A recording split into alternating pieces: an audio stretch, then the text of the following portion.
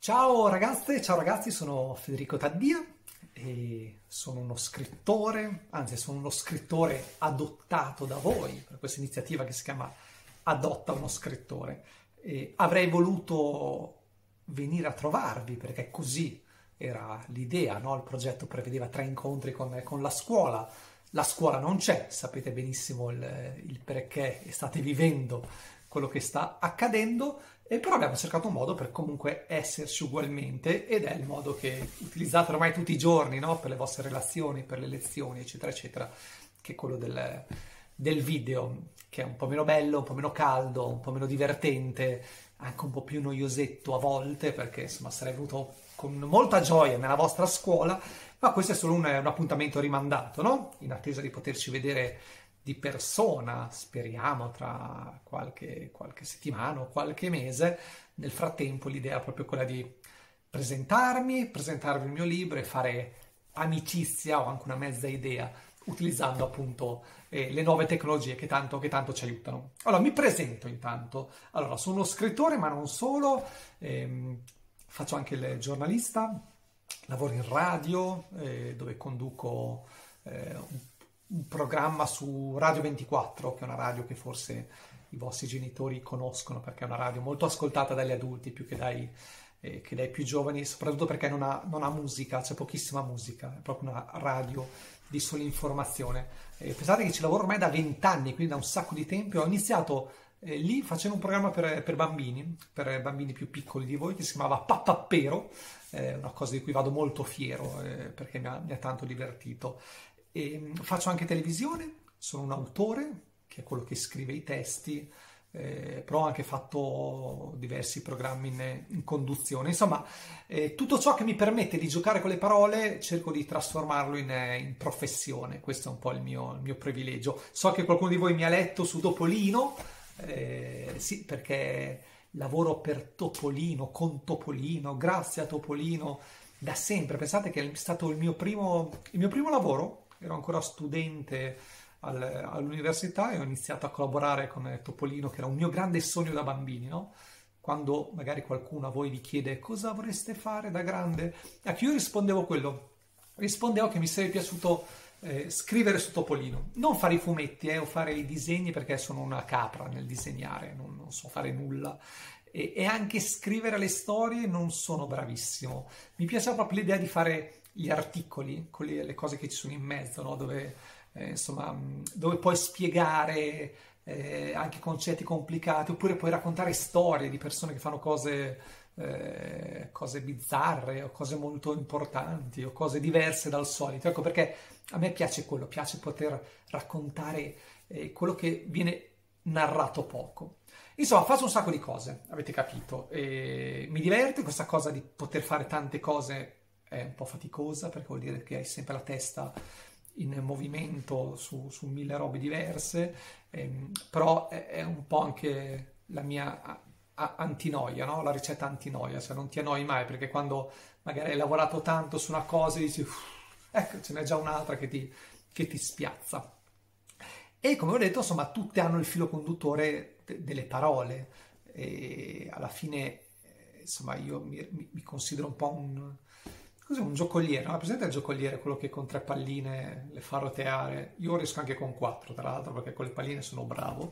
Ehm, ecco, cerco di farlo anche con, con, con, le parole, quindi metterle insieme, cercare di essere eh, sintetico, eh, di essere corretto e rigoroso, a volte anche di essere ironico, simpatico, eh, insomma, cercare di, di, di, di comunicare cose attraverso attraverso queste 21 lettere con cui puoi veramente fare un sacco, un sacco di, di robe. E tra le cose anche i libri, libri per, per, per i più giovani, ne ho, fatti, ne ho, fatti, diversi, molti di divulgazione scientifica, questa parola divulgazione vuol dire che racconti cose della scienza, no? quindi eh, magari quello che faccio io di solito è lavori a fianco con gli scienziati, quindi persone che le cose le sanno, cerchi di, di, prendere il loro sapere e lo traduci in qualcosa di più complicato, ma magari di questo ne parliamo in uno dei prossimi, dei prossimi incontri. Ho scritto anche un paio di, di racconti e poi eh, qualche manuale. Il manuale di solito è un oggetto, è uno strumento eh, che dà delle istruzioni, no? ti dà dei dritta, dei consigli. Vi, vi ho visto parlando di libri, vi ho visti distratti da, dalla mia libreria qui dietro, vi piace? È, è finta, cioè è un telo eh, che però mi serviva per coprire, per coprire, la luce e quindi ho messo questa finta libreria che mi sembra adattissima, una bellissima scenografia per poter fare, per poter fare i video, però eh, sono, sono, libri finti, cioè non posso dirvi di averli letti, eh, cioè posso dirvi che ho fatto la doccia, ecco, poi mi sono asciugato con questi libri, questo sì, eh, però mi, mi, piaceva, insomma, mi sembrava una bella... Un, un, insomma, mi, sento avvolto, eh, sì, mi, piaceva, insomma, mi sembrava lo sfondo ideale per questa lezione che poi lezione non è.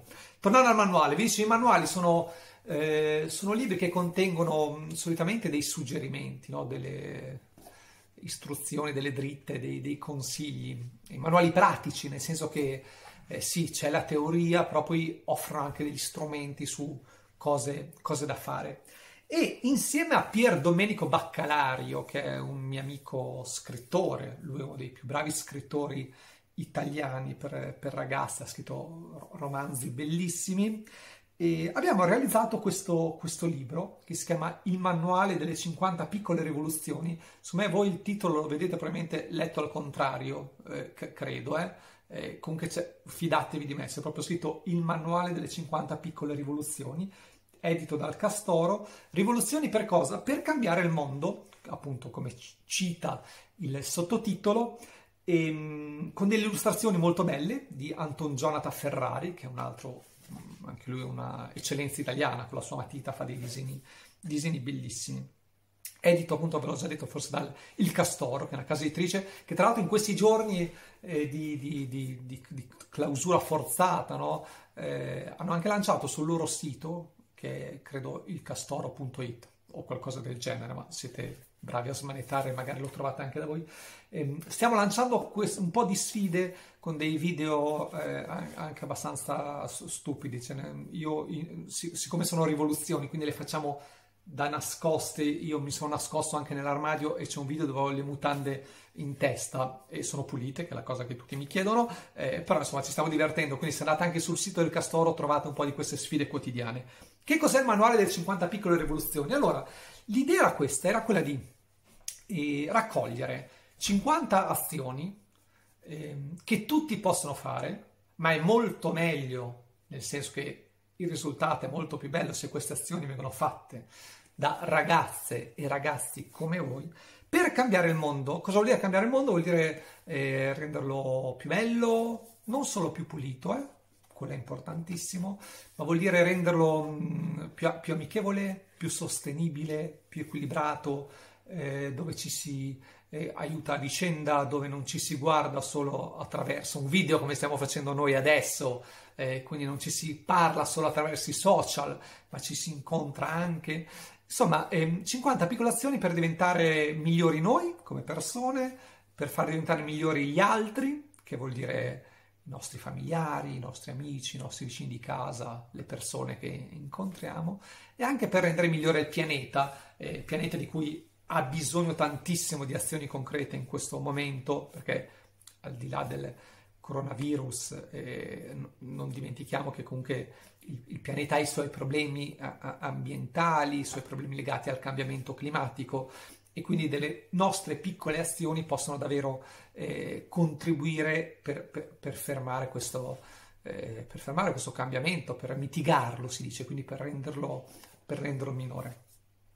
E ci siamo ispirati ai rivoluzionari. I rivoluzionari per noi sono persone che allora, mh, mm, il rivoluzionario non è uno che non sta alle leggi, quello è il ribelle, cioè no, il ribelle è quello che per natura qualsiasi cosa tu gli dica, lui dice no, io questo non lo faccio, no, non mi va bene, insomma il ribelle di solito eh, non ci sta dentro, è polemico, ehm, insiste, comunque qua, quasi, quasi, non ti ascolta perché comunque lui vuole, vuole rompere quello, quello schema, vuole, vuole andare oltre. Il rivoluzionario invece è una persona, secondo noi, diversa. Cioè, il rivoluzionario è una persona che mira al cambiamento mh? E sa che ci sono delle leggi, quindi mentre il ribelle a volte cerca di infrangerla con la legge, il rivoluzionario cerca magari di fare azioni che vadano a cambiare quella legge, se quella legge non la ritiene giusta o non la ritiene equa. E, e quindi ci siamo proprio ispirati alla figura del rivoluzionario, chiedendo a ragazze e ragazzi proprio come voi di fare squadra e fare proprio delle piccole bande, perché ci sono azioni che sono anche toste, no? Cioè ti, ti mettono veramente tanto in gioco, quindi magari se sei da solo, uff, a volte anche complicato, invece se si è tre o quattro amici, eh, che ci si vede, ci si conosce, ci si fida a vicenda, diventa anche più bello, più facile, più incoraggiante fare queste azioni insieme. Eh, sono azioni di che tipo? Eh, alcune molto semplici. Guardate, la prima rivoluzione che proponiamo è una cosa che già tantissimi fanno e che sicuramente farete anche voi, che è quello di rinunciare alle bottiglie di plastica e usare la borraccia. E dite, vabbè, che cosa banale. È vero, ormai è una cosa banale, però non è mai abbastanza banale perché ancora tanta gente non la usa. Però è veramente simbolica perché la borraccia, se ci pensate, eh, contiene un sacco di messaggi belli. Cioè, intanto fa bene all'ambiente, appunto perché usi meno plastica. La borraccia ti chiede anche la cura, cioè ti chiede l'attenzione. Cioè tu una bottiglia di plastica la prendi, bevi, metti il tappo e vai. Sì, molti di voi sono bravissimi, la buttano nel bidone giusto, tanti sono meno bravi, la buttano appunto per strada, però comunque è una cosa che, capito, la usi e la getti, si chiama proprio usa e getta. La borraccia invece, e come la borraccia si può fare questa cosa con tantissimi altri oggetti, ehm, tu la devi, tanto la devi preparare, e cioè devi sapere dov'è, non la devi perdere, non devi perdere il tappo, devi riempirla se vuoi, se vuoi bere, devi cambiare l'acqua, devi riempirla, ehm, la puoi personalizzare, cioè diventa proprio, proprio tua quella cosa. Eh, e quindi ci metti cura, che è una parola a cui io tengo tanto, no? perché prendersi cura di se stessi e degli altri del pianeta è quello, è quello che un vero rivoluzionario fa.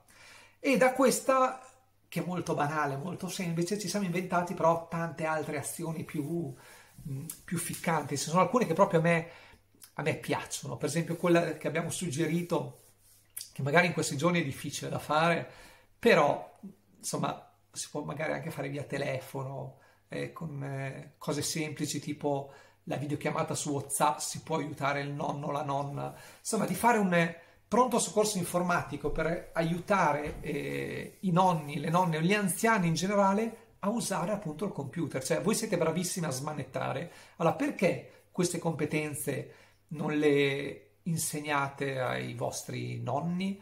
E allora ci siamo proprio ideati questa, ideato questa cosa, di questo pronto soccorso informatico che si può aprire, che ne so, all'interno del condominio, in un quartiere, eh, proprio con l'idea che una volta alla settimana, che ne so, il martedì dalle 16 alle 17 ci sono dei ragazzi rivoluzionari qua a disposizione per rispondere alle vostre domande, come si manda una mail, come si usa Skype, ehm, come posso fare se voglio fare un, una lettera e la voglio salvare perché magari poi la voglio rileggere prima di inviarla a un nipote, un figlio, un amico, eh, come posso andare su Facebook a cercare i miei amici di un tempo, se sei un pensionato.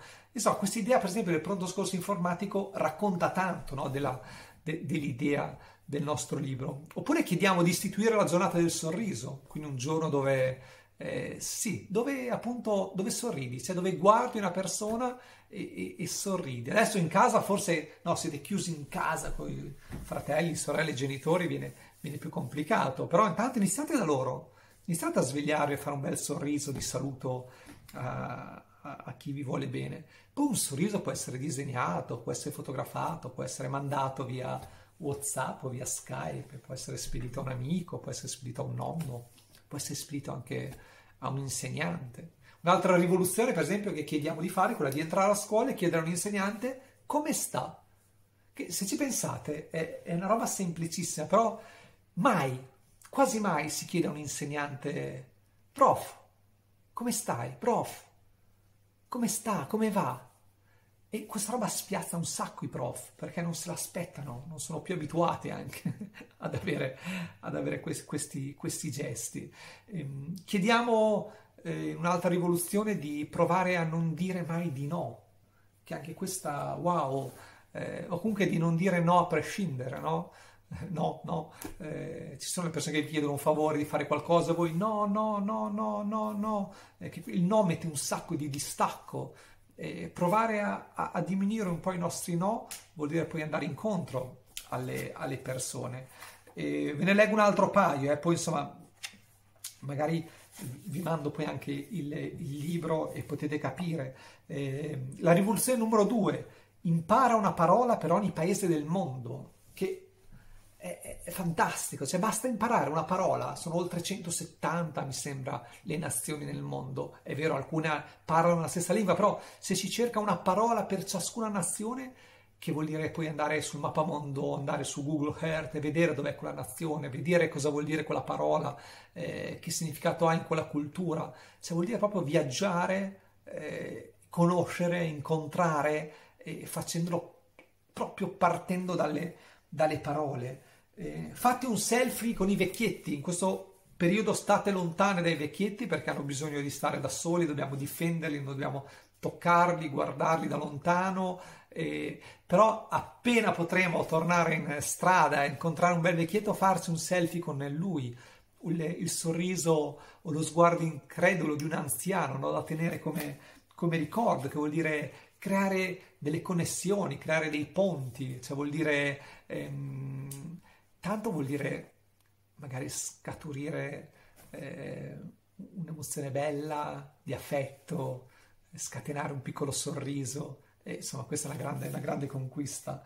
Eh, ascoltare una vecchia canzone o leggere un libro, un vecchio libro, questa è una cosa bellissima che vi consiglio di fare con i, con i vostri genitori.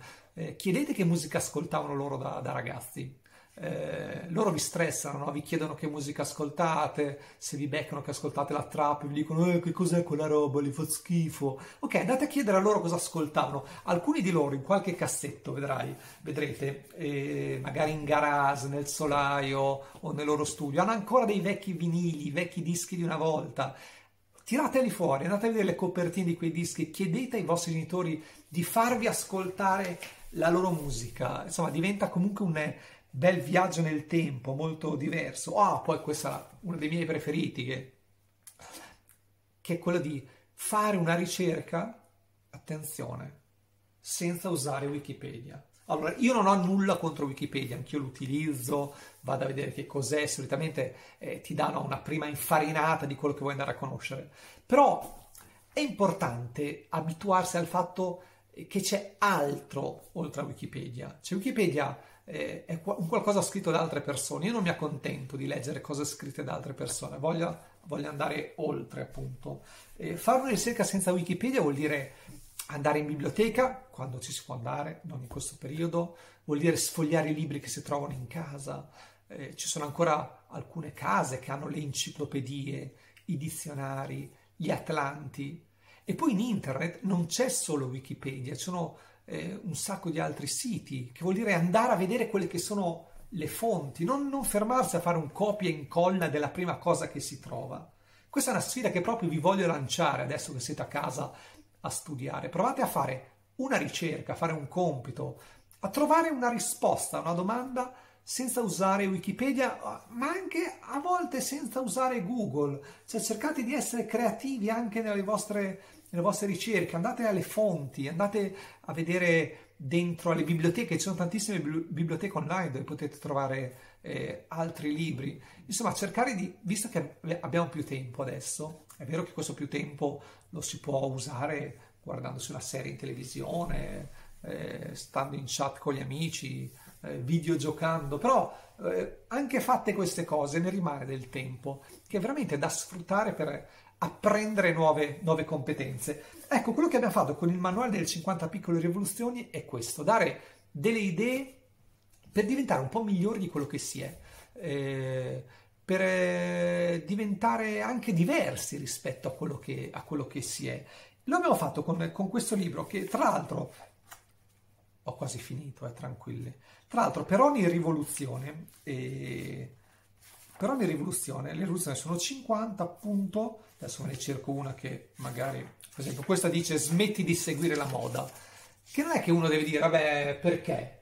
E io vi dico, allora, perché seguire la moda lo sappiamo, io vi dico provate per un giorno, per una settimana a non seguire la moda, provate perché è, un, è, è per mettervi alla prova, per mettervi in gioco, vedere cosa succede, eh, vi piacete di più, vi piacete di meno, Capite che no, per voi la moda è proprio vitale. o magari capite che invece sì, la moda è un qualcosa, è un aspetto della vostra vita, ma poi prendete consapevolezza del fatto che non è così vitale, che ci si può anche vestire un po' come uno vuole, eh, che magari la moda la imponete voi, la fate voi, perché il vero rivoluzionario è questo, è quello che vuole cambiare le leggi o comunque non ci sta alla legge del così fan tutti. Ecco, il rivoluzionario quando c'è un così fan tutti lui non ci sta dentro, vuole capire il perché, vuole diversificarsi, eh, vuole vedere se quel così fan tutti è corretto o invece ci sono altre strade percorribili.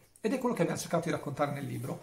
Quindi ogni rivoluzione ha un eh, titolo, ha un disegno, anche un Jonathan, molto divertente a volte. Questo eh, ha fatto una moda un po' esagerata, vedete, si è messo una foglia di fico al posto dei boxer. E dopodiché viene raccontata la rivoluzione, vediamo se riesco anche a voltare pagina, perfetto, ancora con delle illustrazioni, e poi alla fine c'è un, eh, uno schema rivoluzione compiuta dove vi, chie- vi, facciamo fare un piccolo report di quello che avete combinato, cioè per ogni rivoluzione ci sono un po' di, di domandine, vi chiediamo di darvi un voto, cioè per una volta non sono, capito, uh, le insegnanti o gli insegnanti a darvi il voto, siete voi che vi autogiudicate, mi si hanno data la lingua, vi autogiudicate, cioè siete voi che vi date un voto, sono stato bravo, non sono stato bravo, posso migliorare, eccetera, eccetera. E poi c'è uno schema con il valore della rivoluzione, quindi quanti punti valeva in disobbedienza, quanto in protezione, quanto fare per aiutare gli altri, quanto meno è meglio, perché il vero rivoluzionario è anche uno che sa fare le cose con meno, e quanta conoscenza ti porta, e poi la durata.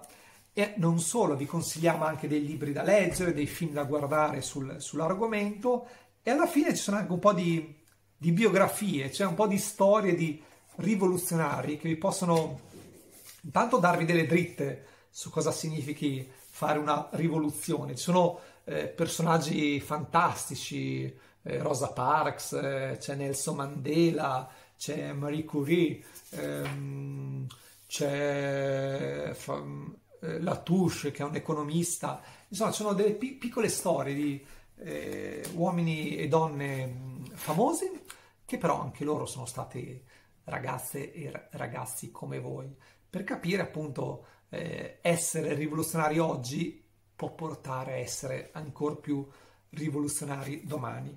Quindi, insomma, questo è il manuale delle 50 piccole rivoluzioni. Per cambiare il mondo ve l'ho presentato, avrei voluto farvelo vedere e viverlo con voi, ehm, però eh, Adesso la cosa che mi piacerebbe fare è questa. Eh, vi ho detto un po' di cose. Eh, adesso magari mi metto d'accordo anche con la vostra prof eh, per vedere se mandarvi qualche pezzo di, di, di, libro da leggere. Ma al di là di, del libro, ehm, se avete domande sui rivoluzionari, se avete domande su di me, se avete domande sulla professione dello scrittore, eh, se avete domande su cosa voglia dire fare l'autore in radio o in televisione, Insomma, tutte quelle che sono le vostre curiosità sullo scrittore che avete adottato, che sono io, che sono Federico Taddia, e potete prepararmi queste domande, me le mandate via messaggio vocale, cioè almeno non vi posso vedere, ma almeno sento le vostre voci. Eh, mi mandate dei messaggi vocali via WhatsApp, li mandate poi alla, alla prof, vi mettete d'accordo come, la prof me li fa avere tutti. E il prossimo video io lo faccio così, faccio ascoltare il vostro messaggio con la domanda, rispondo, faccio ascoltare un altro messaggio e rispondo, insomma così è un po' come essere nella vostra classe sen, sen, senza esserci, però, però insomma mi sembra una cosa abbastanza rivoluzionaria anche questa. Quindi grazie intanto per, la, per, per l'attenzione, spero di avervi in, incuriositi un, un pochino, eh, spero che vi sia piaciuta la mia, la mia libreria. Eh, non cambierà, quindi anche il prossimo video avrà questa libreria con i libri messi nello stesso posto, ve lo garantisco. E, insomma, eh, aspetto un sacco di domande, ma anche se avete suggerimenti, critiche, insomma, tutto quello che vi pare. Voi scrivetemi e io vi rispondo con il prossimo video in attesa di vederci nella vostra scuola. Ciao e grazie. Ecco il dito che parte e va a spingere. Oh.